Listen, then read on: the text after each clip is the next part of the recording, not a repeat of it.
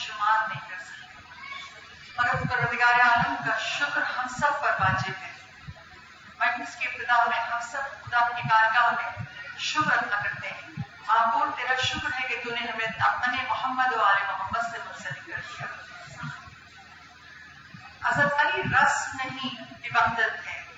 اس حوالے سے آج پانچویں مجلس آپ کی سماعتوں کی نظر ہے آٹھویں مجلس کی ابتدا میں مولانا حسین سید الشہدا امام حسین کے جملوں سے میں مجلس کی ابتدا کروں وہ مناجات جو مولانا نے خنجر تحریر خدا کی بارگاہ میں مناجات کیے، اس مناجات کا جملہ آپ کے سامنے پیش کرتی ہوں۔ سید الشہدا ارشاد فرماتے ہیں حقیق اذا دعیتا مقتم بما خلقتا رب سجال کی معرفت کروا رہے ہیں مولانا حسین۔ مولانا صاحب کہتے ہیں قریب اور اذا دعیتا جو بھی خدا کو پکارے، خدا کو اپنے قریب پاتا ہے۔ وہ اتنا قریب ہے اپنے بندوں کے کہ وہ ان سے پکارے تو بندے کو محسوس ہوتا ہاں میں نے جس سے کہا، اس نے سن لیا۔ اب ہمارا کہتے ہیں، محیط تو بما خلقتا اس کی اپنی مخلوقات پر گرفت بہت مضبوط ہے۔ تمام مخلوقات اس کی گرفت میں ہے تو پہلی چیز جو کہا اور حسین نے کہ پرتگار بہت قریب ہے۔ کتنا قریب ہے؟ ایک روایت بیان کر دوں۔ شہید مرتضی متحری کی کتاب اسلامی داستان ہے۔ وہاں میں روایت پڑھ رہی ہوں کہ ایک شخص تھا جو بہت اللہ کا ذکر کیا کرتا تھا۔ ایک بار آواز بلند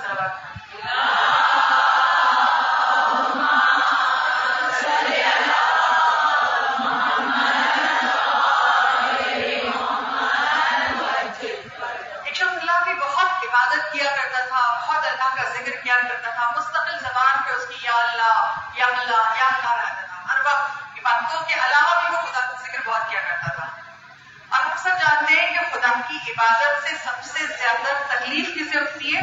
شیطان کو۔ جس نے خدا کے حکم پہ آدم کو سجدہ نہیں کیا تو وہ خوش نہیں ہوتا جب کوئی سجدہ کرے۔ اور پوری کوشش کرتا ہے شیطان ملاؤن کہ میں عبادت گزار کو عبادت کی راہ میں ہٹا دوں۔ ابھی شخص جو مسلسل اللہ کا ذکر کرتا تھا یا اللہ یا اللہ یا اللہ مسلسل اللہ کا ذکر ایک مرتبہ شیطان ایک بشر کے روپ میں آ کے کہتا ہے تو اتنے برسوں سے اللہ کا ذکر کر رہا ہے یا اللہ یا اللہ کہہ رہا ہے کبھی تیرے خدا نے تجھے جواب دیا وسوسہ ڈالا اس مومن کے دل میں تیرے خدا نے کبھی جواب دیا تیری آواز کا تیری آواز میں لبیک کہی کبھی خدا نے اگر تو کسی ظالم کے دروازے پر بھی ہوتا اور اتنا پکارتا تو وہ بھی دروازہ کھول دیتا وہ بھی جواب دے دیتا مگر تیرے خدا نے تجھے جواب نہیں دیا یہ وسوسہ اس کے دل میں ایسا اثر کر گیا اس نے ذکر خدا کرنا چھوڑ دیا یاد رکھیے جو خدا چلتا ہے نا اگر وہ بھٹکنے لگے گمراہ ہونے لگے تو پروردگار عالم سنبھال لیتا ہے کیونکہ وہ اپنے بندوں کو بہت چاہتا ہے ہم اس کی محبت کا اندازہ نہیں لگا سکتے کہ جب رسول خطی مرتبہ نے کہا تھا کہ تمہارا رب تمہیں ستر ماؤں سے زیادہ چاہتا ہے ہم ایک ماں کی محبت کا اندازہ نہیں لگا سکتے اور آج کے لیے سب کچھ اپنی جان کا قربان کرنے کو تیار تو خدا نے جب اپنی محبت کو سمجھایا تو کسی اور کی محبت کی شرط تشبیح نہیں پیش کی ماں کی محبت ذکر خدا چھوڑا، خدا نے کیسے دامن تھاما؟ ایک ملک کو بھیجا اس کے پاس۔ اور ملک نے آ کے سوال کیا اس سے۔ بشکل انسانی آیا، ملک اور کہا، تم اللہ کا ذکر نہیں کرتے اب۔ کہا میں کیا ذکر کروں میں اتنا ذکر کرتا تھا، مگر میرا رب مجھے جواب ہی نہیں دیتا۔ میں پکار رہا ہوں، وہ لبیک کہتے ہی نہیں ہے تو ملک نے کہا، پروردگار عالم ارشاد فرماتا ہے کہ جب تم نے یا اللہ یا اللہ کہنا شروع کیا، تو جب تم نے اگلا ہی جملہ یا اللہ کہا، تو وہ میری لبیک ہی تو ہے کہ تمہیں توفیق مل رہی ہے۔ اگر میں توفیق نہ دیتا تو تمہیں یہ ذکر کرنے کی ہمت ہی نہ ہوتی اور واقعہ معصوم کی حدیث ہے اس میں۔ کتاب میزان الحکمہ میں روایت صادق علیہ محمد امام جعفر صادق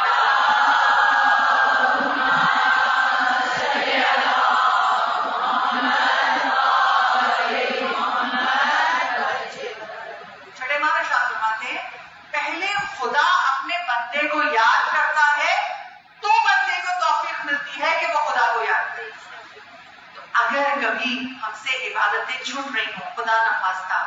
کوئی نیکی جو ہم سے چھوٹ گئی ہے، ہم نہیں کر پا رہے۔ تو مومن کو ڈرنا چاہیے۔ ایسا کیا ہو گیا کہ میرا خدا میرا ہاتھ نہیں تھام رہا۔ اب میرا خدا مجھے توفیق نہیں دے رہا۔ اس لیے کہ ہمارے گناہ ہوتے ہیں جو ہم سے توفیق چھن جاتی ہے چھٹے ماں کہتے ہیں، جب بھی کوئی اللہ کو یاد کرتا ہے، آپ سب یہاں موجود ہے نا؟ عبادت کر رہے ہیں نا؟ کہ خدا نے توفیق دی ہے تو فرش میں کتنے لوگ جو گھروں میں شہریاں نے کہتے مدارس میں کیا باتیں تو یہ اللہ کی دی ہوئی توفیق ہے۔ جب خدا اپنے بچے کو یاد کرتا ہے، تو اسے توفیق ملتی ہے کہ وہ اللہ کو یاد کرے۔ اور جیسا کہ روایات میں ہے کہ ایک مرتبہ حضرت یوسف نبی کے بھائیوں نے جب پورا وہ واقعہ جو آپ قرآن میں پڑھتے ہیں حضرت یوسف کو اپنے کنویں میں ڈالا پھر وہاں سے نکالے گئے پھر قیدی بنے ہم نے مصر کو قیدی بنایا پھر رہائی ملی پھر مصر کے بادشاہ بنے جب یہ پورا واقعہ گزر گیا اور حضرت یوسف حضرت یعقوب نبی سے مل گئے تو حضرت یوسف نبی کے بھائیوں نے جنہوں نے دھکا دیا تھا کنویں میں ان بھائیوں نے اپنے بابا حضرت یعقوب سے کہا بابا آپ بھی نبی ہمارا بھائی بھی نبی ہم نے جب اپنے بھائی کے ساتھ برا کیا تھا تو ہم نے آپ کا دل بھی دکھایا تھا اور بھائی کو بھی اذیت دی تھی وہ بھی نبی آپ بھی نبی تو ہم نے دو نبیوں کو اذیت دی ہم پر عذاب کیوں نہیں آیا ہے نا سوال اپنے بابا کا سوال کر رہے ہیں کہ جب ہم نے دو نبیوں کو اذیت دی تو ہم پر عذاب کیوں نہیں آیا جبرائیل امین نازل ہوئے حضرت یعقوب کو جواب بتا کے گئے کہا یہ کہہ دیجیے اپنے بیٹوں سے جناب یعقوب نے کہا عذاب تو تم پر آ گیا پروردگار اعظم ارشاد فرما رہا ہے عذاب تو تم پر آ گیا تمہیں پتہ ہی نہیں چلا کہیں کیسا عذاب تھا جو آیا بھی اور ہمیں پتہ نہیں چلا جناب یعقوب کہتے ہیں پروردگار عالم نے وہی کی ہے مجھے پروردگار ارشاد فرما رہا ہے یہ کیا کسی عذاب سے کم ہے کہ میں نے تم سے اپنے ذکر کی لذت چھین لی تمہیں میرے ذکر کی توفیق نہیں ملتی کہ کیا کم عذاب ہے خالق نے تم سے توفیق چھین لی ہے تو واقعی جب تک خدا اپنے بندے کو توفیق نہ دے بندے کی زبان میں وہ طہارت ہے ہی نہیں کہ ہم رب کے ذکر کا حق ادا کر سکیں تو مولا حسین تہ خنجر ہمیں سمجھا رہے ہیں کہ مولا کیا کہتے ہیں، قریب الزا جو اسے پکارے، وہ اس کے قریب ہے۔ ابھی مولا دوسرا جملہ کہتے ہیں محیط تم بما خلقتا۔ پروردگار عالم کی اپنی تمام مخلوقات پہ گرفت بہت مضبوط ہے۔ پوری کائنات پہ اختیار ہے پروردگار عالم کا۔ نہ صرف پروردگار عالم کا، بلکہ خدا جنہیں اپنی حجت بنا کے دنیا میں بھیجتا ہے، ان کو بھی پوری کائنات پہ اختیار دیتا ہے۔ کیسے دیتا ہے؟ کتاب مدینت المعاجز کی روایت ہے۔ اور اس روایت میں لکھا یہ روایت بیان کر رہے ہیں ہمارے یاسر۔ ہمارے یاسر جابر ابن عبداللہ انصاری سے ملے۔ مدینے کی گلی ہے۔ کہ جابر، کیسے ہو؟ اللہ کا شکر ہے۔ کہ جابر، رسول خدا کو کہاں دیکھا ہے؟ کہا، رسول خدا کو دیکھا ہے مگر میں نے آج ایک عجیب واقعہ دیکھا رسول خدا سے۔ کہا، کیا دیکھا؟ بات کون کر رہے ہیں؟ جابر ابن عبداللہ انصاری اور ہمارے یاسر۔ ہمار سے ہمار پوچھتے، کیا دیکھا تم نے؟ آج تمہیں حیران ہو رہے ہو؟ کہا، جب نماز فجر ختم ہو گئی اور لوگ گھیر لیتے ہیں رسول کو سوال و جواب کے لیے۔ رسول سوالوں کے جواب دے رہے تھے، تبلیغ دین کر رہے تھے، سورج نکل آیا، سورج چڑھ گیا۔ کافی دیر ہو گئی ایک بار کی مولا علی جب مسجد میں داخل ہوئے، جیسے ہی داخل ہوئے، عرب کے بڑے بڑے سردار بیٹھے تھے، رسول خدا نے پیشانی کا بوسا دیا، سلام کا جواب دیا، اپنے پاس مولا کائنات کو بٹھا لیا۔ جب بٹھا لیا، تو ایک بار کی رسول خدا نے کہا، علی، ذرا سورج سے کلام کرو، سورج سے کلام کرو۔ اب جو ایک دن بیٹھے تھے انہوں نے کچھ منافقین بھی دیکھا دیکھا، ابھی آگے بیٹھے نہیں دماد کے اور چلے فضیلت دیں، ایسا ہو سکتا ہے کوئی سورج سے بات کرے۔ اور یہ نہیں جانتے کہ نبی کی سماعت ہماری سماعتوں جیسی نہیں ہوتی ہے۔ وہ صدیوں دور تک سن سکتے ہیں۔ رسول بھی سن رہے ہیں۔ قرآن نے سرگوشی کو کیا کہا؟ نجوا یہ نجوا کر رہے تھے سرگوشیاں کر رہے تھے رسول جان رہے تھے کہا علی ذرا سورج سے کلام کرو مولا کہنا کھڑے ہو گئے اور کھڑے ہو کے کہا کئی اسباب دو یا خلق اللہ کیسے ہو اللہ کی مخلوق۔ اب سورج نے کہا وہ السلام یا آخا رسول اللہ۔ اے رسول کے بھائی، آپ پر میرا سلام۔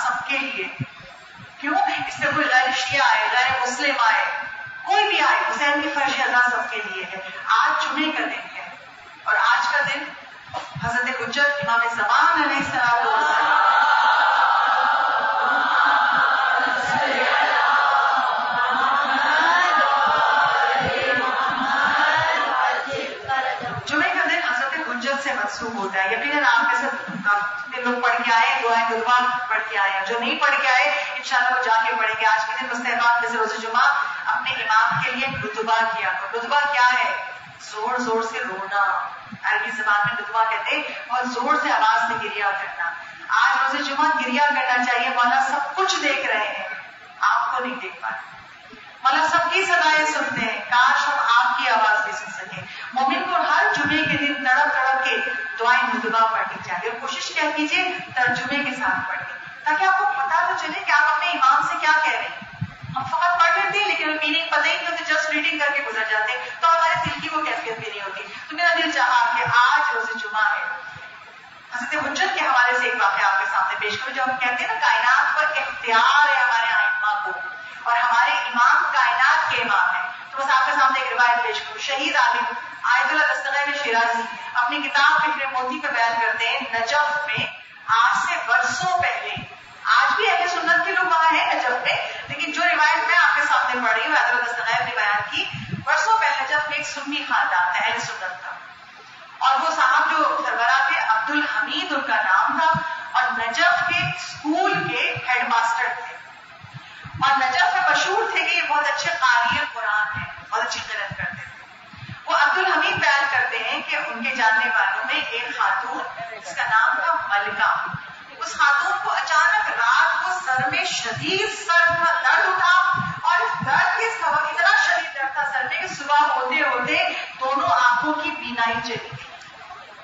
بالکل نظر نہیں آتا ایک رات میں دنیا دیر ہو گئی اور وہ عورت درد کی شدت سے تڑپ رہی تھی۔ عبد الحمید کہتے ہیں، جب مجھے اطلاع ملی وہ عورت بھی اہل سنت سے تھی شیعہ نہیں تھی۔ تڑپ رہی تھی درد سے۔ عبد الحمید کہتے میں نے اس سے کہا، دیکھو، اس مشکل کو حل صرف مشکل کشا کر سکتے مولا علی کے روزے پہ اس کو لے جاؤ، کہ وہاں جا کے فریاد کرے۔ اگر مولا نے اس کی بینائی پلٹا دی تو ہو سکتی ہے، ورنہ طبیب تو انکار کر چکے، اس کی بینائی نہیں آئے گی۔ جیسا لوگوں نے کہا، اس کے گھر والے اس کو لے کے مولا علی کے روزے پہ گئے اور زری کے پاس بٹھا دیا۔ نظر تو کچھ آ نہیں رہا۔ دیکھ بھی نہیں سکتی کہ مولا کی زری کے سامنے بیٹھی ہوں۔ مولا نور کے سپنے میں جو نور محمد والے محمد ہے ہم سب کو بار بار مولا نجف و کربلا مشد و سامنا اب وہ زری کے سامنے بیٹھی ہوئی ہے زری دیکھ نہیں پا رہی، زاروں پتا ہو رہی ہے۔ مولا سے فریاد کر مولا میری آنکھوں کا نور پلٹ آئے۔ مولا میری آنکھوں کی روشنی آ جائے۔ روتے روتے کئی راتوں سے درد کی شدت سے جاگ رہی تھی آنکھ لگ گئی۔ اب جب آنکھ لگی تو اس نے خواب میں دیکھا، ایک نورانی ہستی آئی۔ اور آپ یہ کہتے گھبراؤ نہیں۔ تم ٹھیک ہو جاؤ تمہاری مینائی آ جائے گی کہا آپ کون ہیں کہا میں تمہارے وقت کا امام مہندی آخر الزمان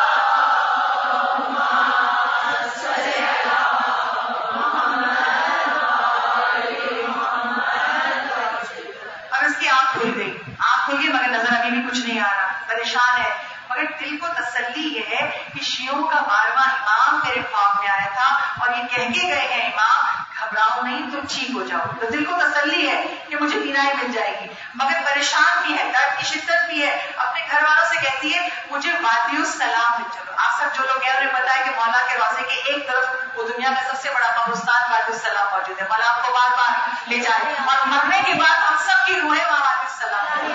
تو اس نے اپنے گھر والوں سے کہا کہ مجھے وادی السلام لے چلو۔ جہاں وادی السلام میں ایک مقام ہے، مقام امام زمانہ کہلاتا ہے۔ امام زمان وہاں آ کے عبادت کیا کرتے ہیں۔ تو آپ کہا کہ مجھے اس مقام پہ لے جاؤ؟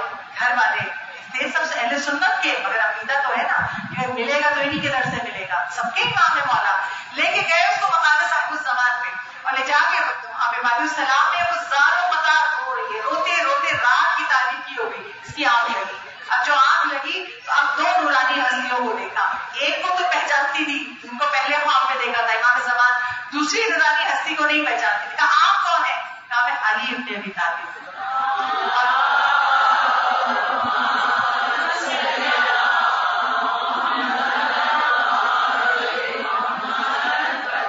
اور مولا کائنات اس خاتون کو مخاطب کر کے کہتے گھبراؤ نہیں تمہاری بینائی آ جائے گی کہا مہدی ذرا اس عورت کی آنکھوں میں نور دے دو امام زمان نے ہاتھ کا اشارہ کیا، اس کی آنکھوں کا نور پلٹ آیا اب جو خواب سے جاگی تو اس کو پوری دنیا نظر آئی۔ چیخ چیخ کے کہہ رہی تھی شیوں کے امام زندہ ہے شیوں کے امام آپ پر ہے اور یہ معجزہ دیکھ کر اس کا پورا خاندان اہل تشریف میں شامل ہو گیا۔ سلوات پڑھی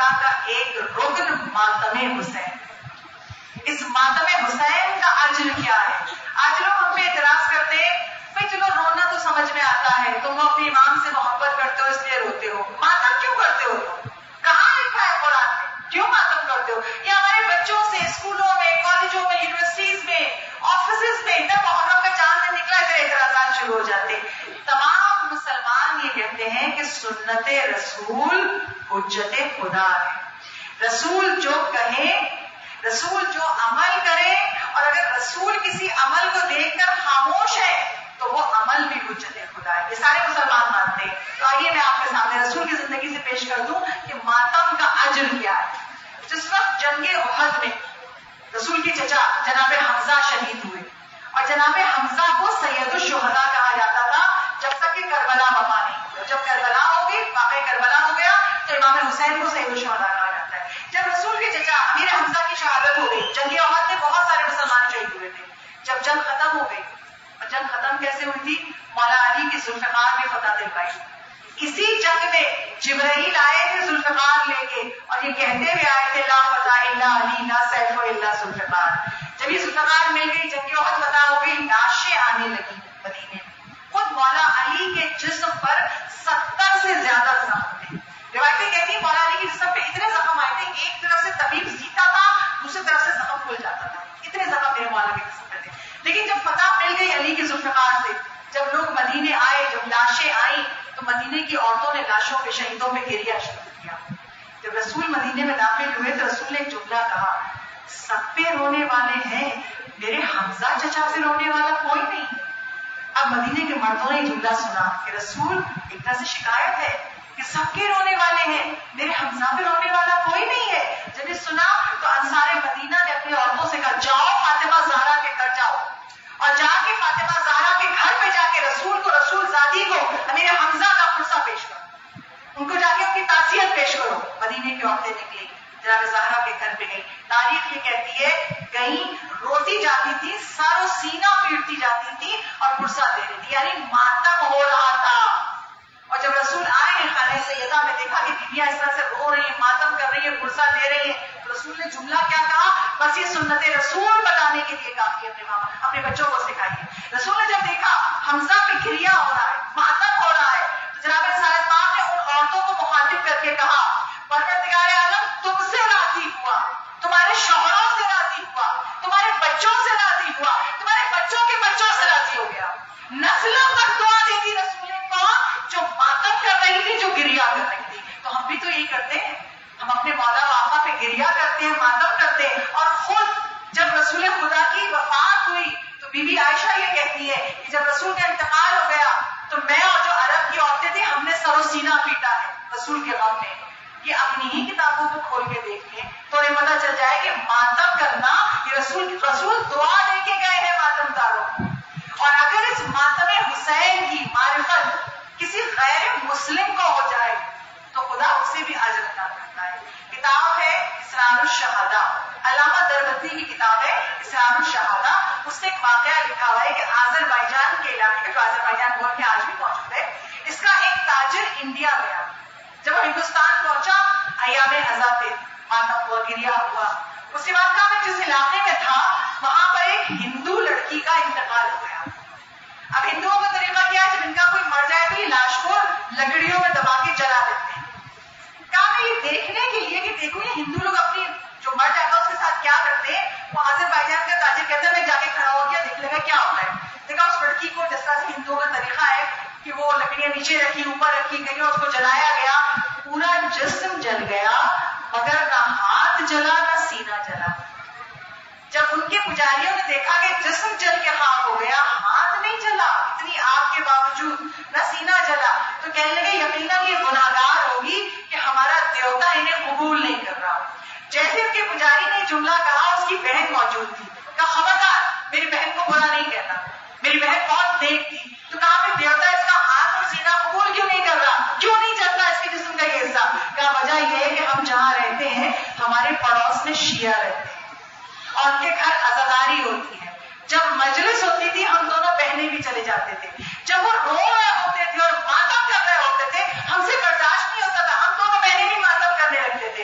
اس نے حسین ابن علی کا ماتم کیا ہے۔ وہ جو شیعوں کے امام ہے نا، ان کا ماتم کیا ہے۔ اس وجہ سے اس کا ہاتھ چلا نسینہ چلا۔ آگ سے محفوظ رہا۔ اب جو ان کے پجاری تھے انہوں نے اس کے جسم کا ہاتھ کا حصہ اور سینے کا حصہ لے کے مسلمانوں کے قبرستان میں پہنچے، کہا یہ تمہاری امانت ہے اسے قبر میں دفن کر تو اگر غیر مسلم بھی حسین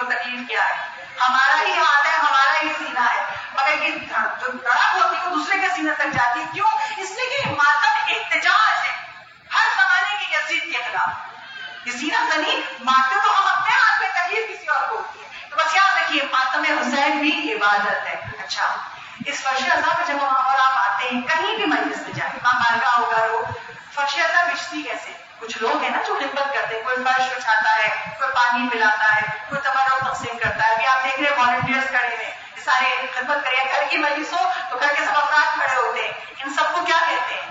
خدمت کار امام خدمت کار ازا یہ ازاداری کے لیے خدمت کر رہے ہیں تو یہ خدمت کار ازا کہلاتے ہیں۔ جو بھی ازا میں، جو بھی خدمت انجام دیتا ہے، آج فرش ازا سے سنتے جائیے۔ مولا نے کیا دعا دیتے ہیں؟ کیا اجر ملتا ہے؟ عباس مازن درانی ایران کے علاقے سے تھے، مازن درانی علاقہ ایران ہے۔ عباس مازن درانی قافلے لے کے کربلا جاتے تھے اور اس زمانے میں پیدل سفر ہوتا تھا، کئی سو کلو میٹر پیدل چلنا پڑتا تھا۔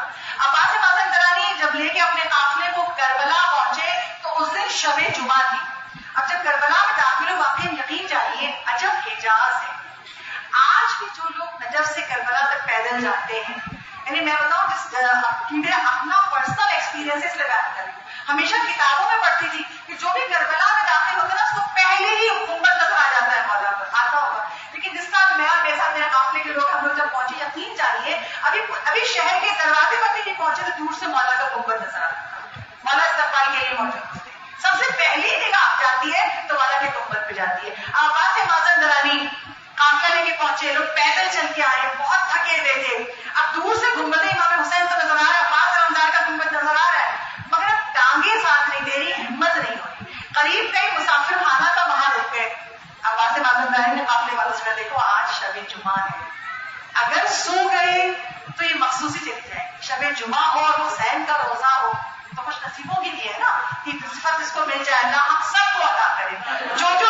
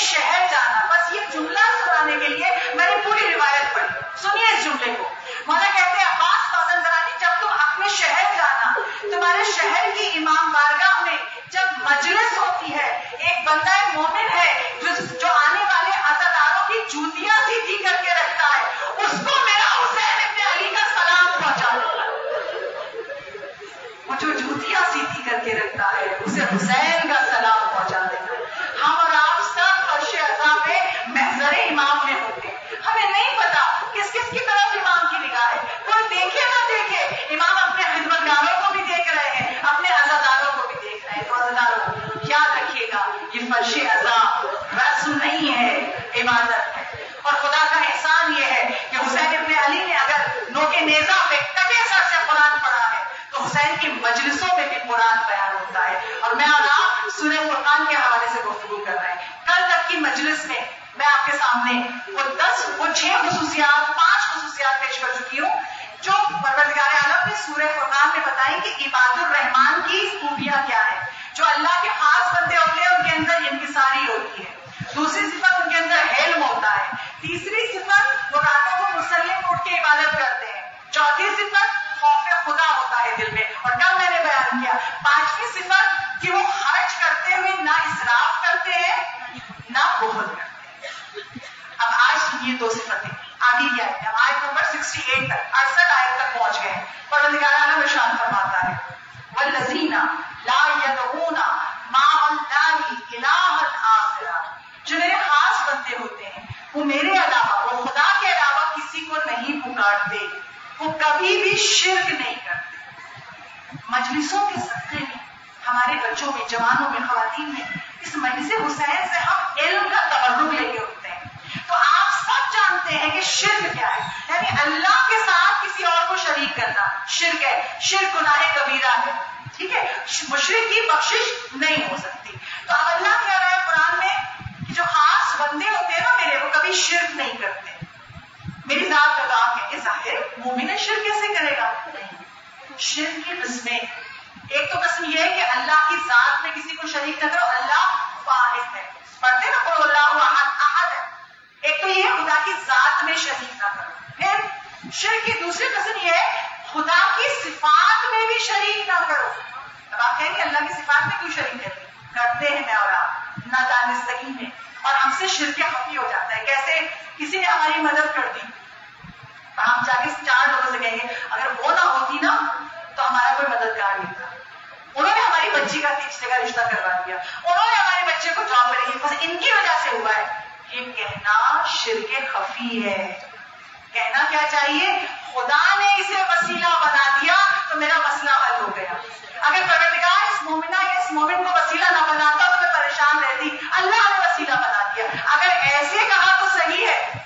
اور اگر اس طرح کہا تو شرک خفی ہو گیا۔ اسی طرح اللہ کی اطاعت کی ایک اور قسم، اللہ کی اطاعت میں شرکت کرو۔ آپ کہیں گے، اللہ کی اطاعت تو ہم فقط اللہ کے لیے کرتے ہیں۔ ہم روزہ ہو، نماز ہو، حج ہو، عمرہ ہو مجلس ہو تو ہے، مگر عبادتوں میں بھی شرک ہو جاتا ہے۔ کیسے ہو جاتا ہے کہ نماز پڑھ رہے ہیں گھر میں، کوئی آ گیا گھر میں۔ اچھا چلو دیکھ لیں ہم کتنے عبادت گزار ہیں۔ ہم قرآن پڑھیں گے امام مالکہ زیارت کے لیے گئے تھے، کسی امام مالکہ پہ وقت تھا۔ ہمارے مرد نماز پڑھ کر چلو ہم قرآن کی تلاوت کر لیں۔ آپ کو ملنے جلنے والا مل گیا۔ چلو اچھا ہے اچھا امپریشن پڑے گا، ہم کتنا قرآن پڑھتے ہیں۔ جہاں دل میں یہ آ جائے، آپ نے عبادتوں میں کسی کو شریک کر لیا، حتیٰ کہ مجلس اللہ ہمارے گھر کی مجلس، کیا مجمع ہوتا ہے؟ کیا ہم ذاکرہ بلاتے ہیں؟ کیا تبرک ہوتا ہے؟ اتنی جگہ ختم ہو جاتی ہے۔ جہاں آپ نے یہ ریاکاری آ گئی، یہ دکھاوا آ گیا، آپ نے اس عبادت میں غیروں کو شریک کر لیا۔ اور خدا ہی بے نیاز، آپ نے جس عبادت میں بھی کسی کو شریک کیا، اللہ کہتا ہے کہ اپنا حصہ بھی اس کو کیا اب اجر سواب ثواب مجھ سے نہیں مانگنا۔ تمہاری جو نیت تھی، تمہیں مل گیا۔ اللہ بے نیاز ہے۔ اس کو نہیں چاہیے شراکت۔ وہ کسی چیز میں شراکت پسند نہیں کرتا۔ یہ کائنات اسے اکیلے بنائیے تو اگر ہم نے یہ کر لیا نیت ہماری ذرا دنیا کی طرف ہو گئی۔ یہ ہے اطاعت مشن اور ہم اگر نادانستگی سے جملے کہہ رہے ہیں تو فرش آزاد سے سیکھ کر جائیے۔ ہمیں ہر شرک سے بچنا ہے۔ کیونکہ خدا قرآن نے کہہ رہا ہے، اللہ کے خاص بندے شرک سے بچتے ہیں۔ ایک اہم چیز آپ سن لیجیے پانچویں امام، حضرت امام محمد باقر علیہ السلام۔ اللہ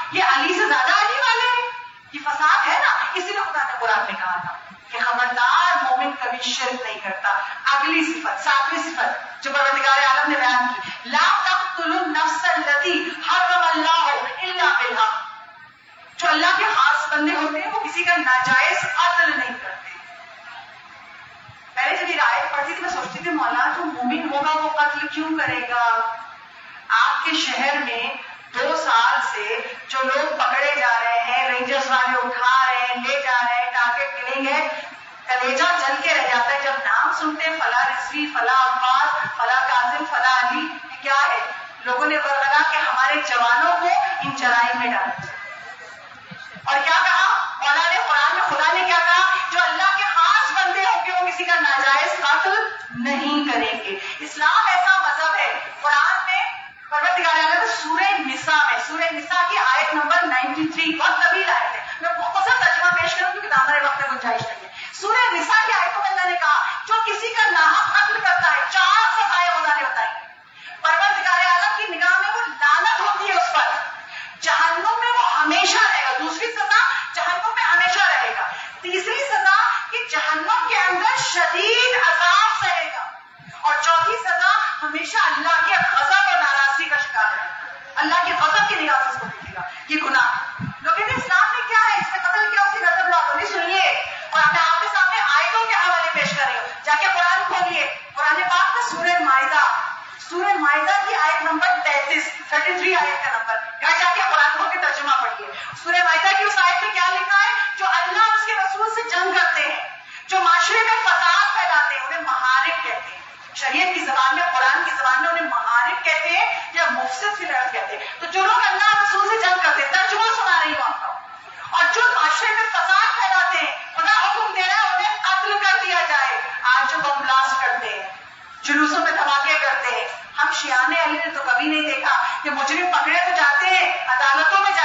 سزا کسی کو نہیں ہوتی۔ بڑی ہو جاتے اگر آج اسلامی نظام قائم ہو جائے تو اس شہر میں امن نہ آ جائے۔ اگر مفسدین کو، فساد کرنے والوں کو سزائیں ملنے لگے، مارا جانے لگے، تو پھر لوگ سدھر جائیں گے نا۔ پھر سر نہیں ہوں گے۔ مگر اسلامی نظام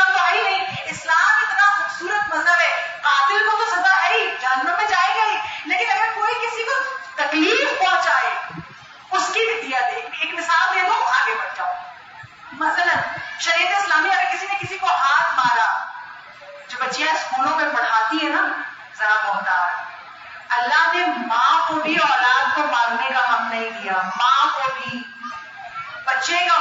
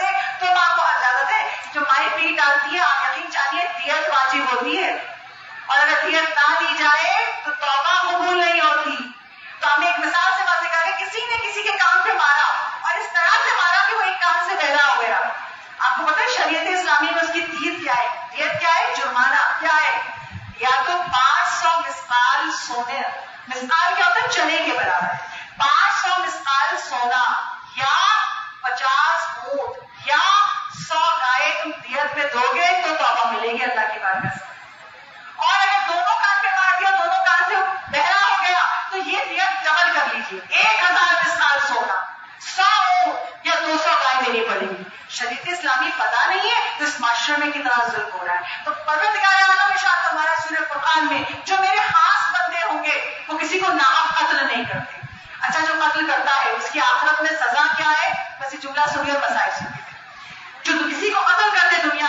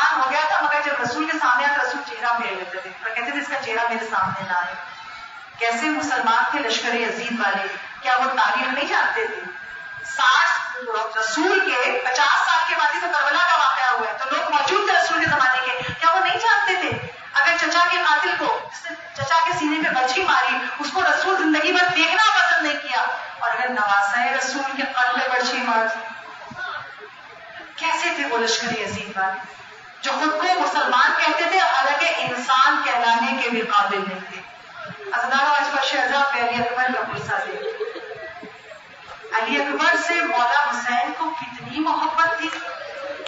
ایک چھوٹا سی روایت پڑھ دوں کہ جب حضرت علی اکبر چھوٹے تھے، جب علی اکبر کو جھولے میں لٹایا جاتا تھا اتنے چھوٹے تھے۔ بی بی میں لینا بیان کرتی ہے اکثر راتوں کو جب میری آنکھ کھل جاتی تھی، میں دیکھتی تھی کہ مولا حسین علی اکبر کے گہوارے میں جھکے ہوئے میں قریب آ کے کہتی تھی، مولا کیوں علی اکبر کے گہوارے میں جھکے ہوئے آپ مولا کا جھولا سب محبت سونے نہیں دیتی میں بار بار آ کے دیکھتا ہوں علی اکبر کو علی اکبر کی محبت مجھے سونے نہیں دیتی جس بیٹے کو باپ اتنا چاہتا ہو میدان کربلا میں روز عاشور سب سے پہلے علی اکبر آئے ہیں بابا کے پاس سب سے پہلے بابا مجھے مختلف میں جانے کی اجازت دی مولا نے کہا جاؤ، تقدم بدلی جاؤ، میرے نام اجازت دی مولا کے جو اصحاب تھے مولا کے جو جانزار تھے وہ چلا جائے، ہم زندہ رہے۔ جب علی اکبر آگے بڑھتے تھے مالا کے جان سار پڑا نہیں مالا علی اکبر کو نہیں جانے تھے جب سب شہید ہو گئے، اب کوئی علی اکبر کو ڈوکنے والا نہ رہا۔ علی اکبر پھر بابا کے پاس جائے بابا مکتل میں جانے کی اجازت نہیں مولا حسین نے کہا، جاؤ علی اکبر، میں نے اجازت دی۔ مگر پہلے اپنی ماں سے اور اپنی ڈوبی سے اجازت دی۔